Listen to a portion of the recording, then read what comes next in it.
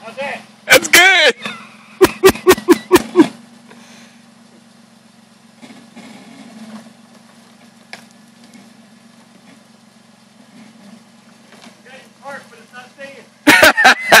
I'd back it on up there.